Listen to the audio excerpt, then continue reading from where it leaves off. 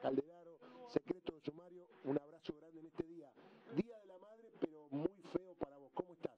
Por, supu por supuesto, sí, mira, mira, querido amigo, eh, eh, si vos me preguntás como abogado eh, qué es lo que sufrí ayer, la verdad que fue algo muy asqueroso lo que sufrí ayer, eh, de que me dejen a sacar de pijama, después que ellos se nieguen a que me sacaron de pijama, ¿no? Porque incluso hay videos donde yo estoy con el pijama y unas chancletas, un par de, un par de chancletas, y a su vez también de la manera tan eh, asquerosa que me han sacado. Yo estaba tramitando para internarme en, la clínica eh, para que me hagan toda una revisación médica y una y también por lo que por ahí me pongo eh, eh estoy pasando la situación, ¿no? Y resulta de que hace dos semanas nosotros incluso tenemos las pruebas, tenemos todo. Este tipo pone el argumento de que no me quise no quise al médico cuando eh, yo, estoy, yo estaba peleando para ir al médico y tengo las pruebas de hace dos semanas atrás. Entonces el argumento que han puesto para volver a la cárcel es un argumento muy eh, político, es un argumento muy, eh, eh, perdón la expresión, un argumento muy eh, activo de la, de, de, la política y de la manera de trabajar de Gerardo Morales en una forma narcista, ¿sí? de ordenar y que se haga lo que él dice y lo que dice su hermano, ¿no? Eh, lamentablemente eh, estamos viviendo en un momento político, el movimiento político donde ellos dominan hoy, donde ellos nos quieren eh, ver agachados y que tengamos que pedirle las cosas eh, llorando. Y conmigo están equivocados porque lo mejor me pueden meter en la cárcel, pero lo que no van a hacer es hacerme agachar la cabeza y mucho menos pedirle la culpa de nada, porque no pienso ser disculpado y más que nada a los argentinos, que yo creo que esto no puede pasar en, e, en plena época de democracia, donde me vengan a secuestrar y que no me comuniquen nada ni que tampoco me van a firmar nada, ¿no? Milagro, voy a hacer un porque tu abogada dijo ayer que te quieren ver muerta. Eh, bueno, yo responsabilizo al Superior Tribunal de Justicia de Jujuy, eh, también responsabilizo a Gerardo Morales, eh, responsabilizo a Macri, responsabilizo al Gabinete Nacional y Provincial sí, que son ellos los que hoy están, porque Gerardo Morales no va a actuar como está actuando eh, en blanco. Lamentablemente, eh, Gerardo Morales hoy es, la persona que ha recibido muchísima plata de Jujuy y de que no rinde cuenta de nada. ¿sí? Eh, si es por, cuestión de corrupción, si es por cuestión de... La verdad que no sé, que, no sé si era la, la, la tortita bonita del cumpleaños de Gerardo Morales, porque eh, es el tipo que le da eh, es el tipo que el privilegiado de, de las provincias donde le manda mayor cantidad de fondos y donde tiene eh, la mayor cantidad de poder, ¿no? Tanto en el poder económico como en el poder judicial.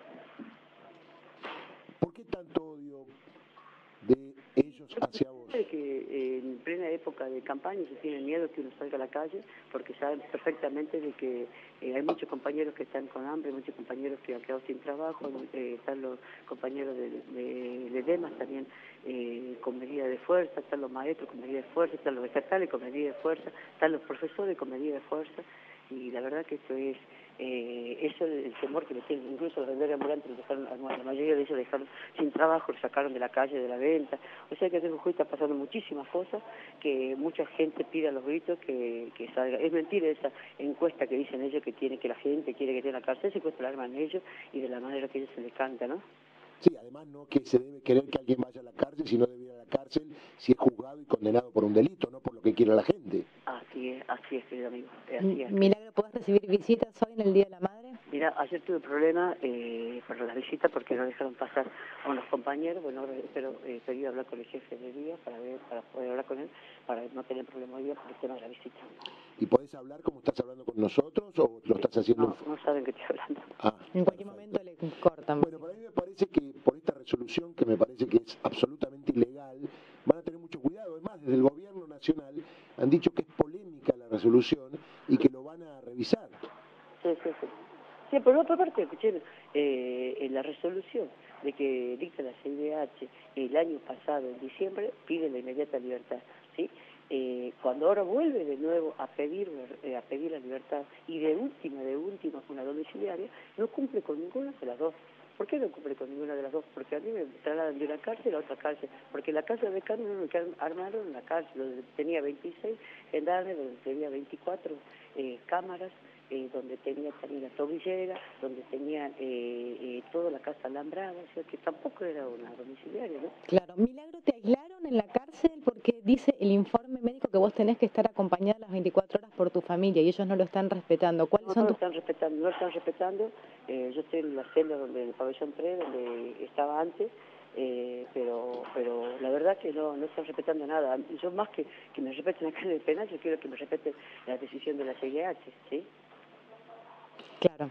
Quiero decir que estamos al aire en C5N, agradecemos a nuestros compañeros eh, y Milagro te está escuchando el país. ¿Qué le querés decir a la gente respecto de lo que te está pasando? ¿Cómo te sentís? ¿Y, y, y qué esperás que pase para que puedas estar mejor? Bueno, hoy me tocó a mí, eh, tiempo me tocó, eh, tocó a Milagro Sala y a las compañeras presas políticas que están en Jujuy acá, y mañana le puede tocar a cualquier compañero. Lo que le pido a los argentinos es que no permitamos que pase más eso, que en, en plena democracia, ¿sí? Pase eso. Eh, eh, pido también de que de que se haga respetar la decisión de la CDH, ¿sí? Y a los militantes que vayan a las urnas y piensen con el corazón, eh, cuando vayan a votar, voten con el corazón. No voten porque le dan una, una, bolsa de mercadería, no voten porque les regalaron una heladera, no voten, reciban, reciban todo eso, pero dentro del cuarto, del cuarto oscuro nadie lo ve. Dentro del cuarto oscuro tienen que decidir por ellos y cuál es el futuro que quieren para un país y un país que sea eh, que sea un país como una, eh, que sea un país no un país donde y repito varias veces un país que sea un país, una patria y no colonia, porque hoy nos están llegando a nosotros a que seamos una colonia en Argentina donde se cierren las fábricas, donde no haya producción, donde no haya trabajo y que todos dependamos de, así como dicen, eh, así como dicen los funcionarios nacionales que armemos un kiosquito y con el kiosquito nos demos vuelta. Claro, Milagro, ¿le querés mandar un mensaje a la mamá de Santiago Maldonado? Bueno, eh, decirle mucha fuerza, eh, también como, como militante, eh, deseo que deseo y pido y exijo que Santiago Maldonado aparezca con vida ya, ¿sí? Se lo llevaron vivo y vivo lo queremos. Y decirle a la familia de Santiago Maldonado que tenga mucha fuerza, que no están solos, que está un país acompañándole a ellos. ¿Y qué opinas de la candidata en Capital, Lisa Carrió, que dijo que hay un 20% de posibilidades de que Santiago esté en Chile? Mira, eh, si vos te pones a ver desde, hace, desde el primer momento que, que, que, se lo llevaron a Santiago, ¿sí? Eh, ¿Qué opinaba ella? Yo creo que hasta el día de hoy ya cambió tres, cuatro veces el discurso. ¿sí? Eh, la verdad que no tengo nada que opinar de ella, que los argentinos están opinando de ella. Milagro, ¿estás fuerte para resistir? Estamos muy interesados en saber si tenés fuerza para, para soportar esto que te están haciendo. Y tengo fuerza, pero lo único que temo es por mi familia. Claro. Te duele. Deben estar ellos muy dolidos, me imagino a Noro, me imagino a tus hijos. Sí, sí. ¿Te quebrás en algún momento porque sos re fuerte? ¿Te quebrás, llorás? Porque, por supuesto que una vez cuando se quiebra cuando llora, lo hace cuando, cuando no está con la familia, ¿no? Para que la familia dentro de todo también se fortalezca.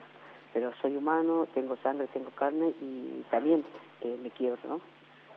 ¿Y tenés fuerza para seguir luchando? Por supuesto que esto me da mucho más fuerza que antes para seguir luchando y para no callarme la boca. ¿Qué es lo que no te perdonan, Milagro? No van a lograr eh, que me quede callada. ¿Qué es lo que no te perdonan? No te perdonan algo. Mira, eh, a ver, acá sí por corrupción, aquí en Jujuy están haciendo 10.000 negocios. Están haciendo negocios con el litio, ahora fueron a pedir los bonos verdes eh, en Estados Unidos, han endeudado a la provincia, igual que Macri en la nación. Ahora, lo que ellos no perdonan, que uno haya abierto conciencia. ¿sí? Nosotros abrimos 10.000 conciencia, muchísima conciencia que eh, le entregamos eh, dignidad a los compañeros. Hicimos que estudien, creamos colegio primario, secundario terciario. Eh, a los compañeros cuando le, le entregábamos algo, le entregábamos sin pedir nada a cambio. Y hoy, lamentablemente, vos fíjate, hablan de, de, politiquería que decían que ya hacía un clientelismo, que hacía que hacía Milagro Sala, sin embargo, hoy están haciendo clientelismo. ¿Sí? Al mejor postor le entregan mercadería, al mejor postor le entregan plata, al mejor postor le entregan una cooperativa de limpieza, ¿sí? y le dan dos mangos, pero sin embargo, ellos, ¿sí? ellos están llevando eh, la plata, no en, no en carretilla, en camionada están llevando la plata. Milagro, ¿por qué no nos contás cómo cayó la gendarmería, cómo te llevaron? No, estaba... no fue la policía de la provincia. Ajá. Fue la policía de la provincia, son el grupo GIOP, eh, pasaron de prepo, comenzaron a, a, empujarlo a mi marido, empujaron a una compañera que estaba entraba ahí y me agarraron a mí, me sacaron en pijama y me sacaron también en chancleta porque ellos querían que yo salga a firmar una resolución. Entonces yo salí a firmar la resolución y llegué hasta el patio, y cuando llegué hasta el patio ellos me sí, ya, ya, ya corto, ya corto, ya corto. Le quieren cortar a Milagro. Cerrado lo último, Milagro, por favor. Sí, y bueno, eh, la verdad que el atropello que viví ayer es muy grande. Tengo la muñeca con moretones y el brazo con moretones también. ¿Sí? Bueno, te dejamos para que no tengas ninguna represalia. Te mandamos un saludo. Gracias por este contacto y feliz día. de la Madre a pesar de todo. Y feliz Día de la Madre a todas las argentinas.